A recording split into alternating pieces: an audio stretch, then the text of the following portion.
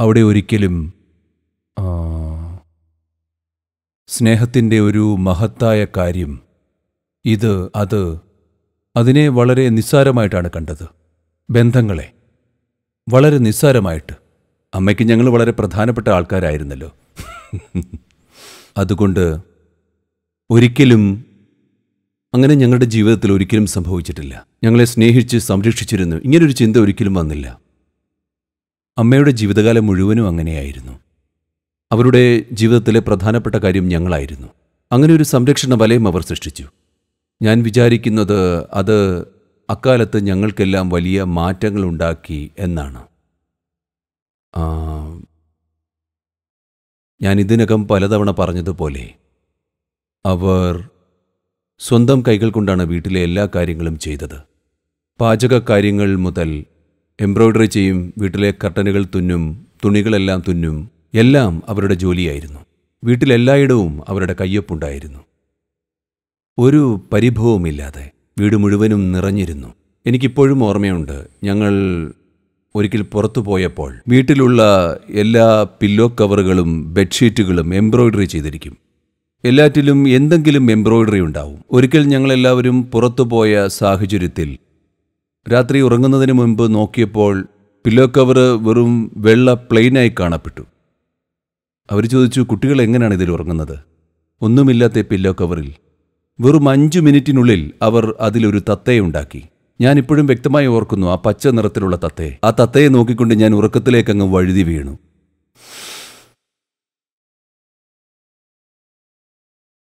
ആ തത്തയുടെ രൂപം ഇപ്പോഴും എന്റെ തലച്ചോറിൽ മായാതെ കിടപ്പുണ്ട്.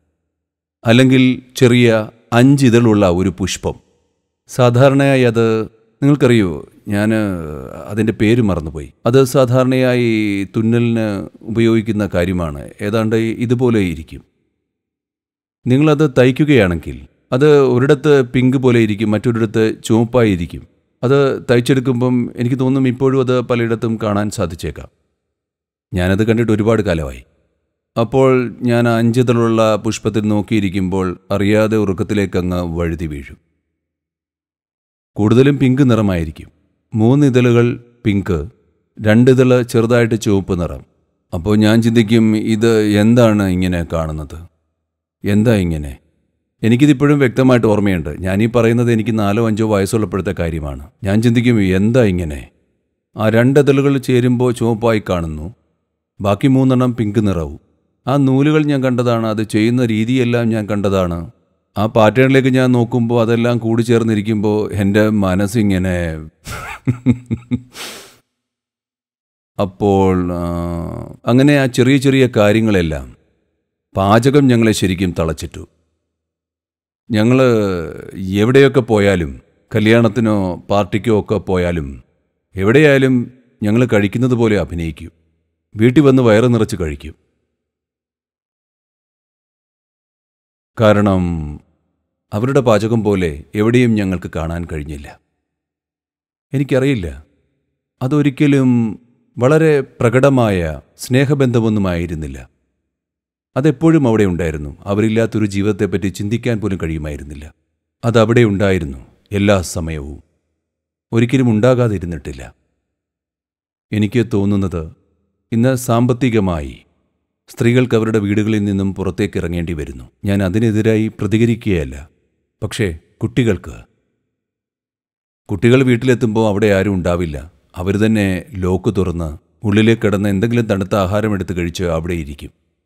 ഇത് സാധാരണ പാശ്ചാത്യരായ കുട്ടികളുടെ വിധിയാണ്. നിർഭാഗ്യവശാൽ ഇന്ത്യയിലെ നഗരത്തിലെ കുട്ടികളിലേക്കും ഇത് പടർന്നു പിടിച്ചു. ഒന്ന് ചിന്തിച്ചു നോക്കൂ. കുട്ടികൾ വീട്ടിലേക്ക് വരുമ്പോൾ അമ്മ അവരുടെ ബാഗ് എടുത്തു മാറ്റി അവർ കുശലം അന്വേഷിക്കുന്നത് മുറിയിലൂടെ ഓടി നടക്കുമ്പോൾ പിടിച്ചിരുത്തി ഷൂ ഊരി മാറ്റുന്നത്. ഇതൊക്കെ ഒരു നിസ്സാര കാര്യങ്ങളെയല്ല ഇവയെല്ലാം ജീവിതത്തെ സ്വാധീനിക്കുന്ന കാര്യങ്ങളാണ്. ശരിക്കും ജീവിതത്തിന്റെ ഗതി മാറ്റുന്ന കാര്യങ്ങൾ. എനിക്ക് തോന്നുന്നത് ഇത് പല കാര്യങ്ങളെയും സ്വാധീനിക്കാം. എന്റെ മറ്റു തലങ്ങൾ വ്യത്യസ്തമായിരിക്കാം. പക്ഷെ വ്യക്തി എന്ന നിലയിൽ എന്നെ നിശബ്ദമായി അമ്മയെ ഒരുപാട് സ്വാധീനിച്ചിട്ടുണ്ട്. ഒരു വാക്കുപോലും പറയാതെ ഒന്നും പരിശീലിപ്പിക്കാതെ.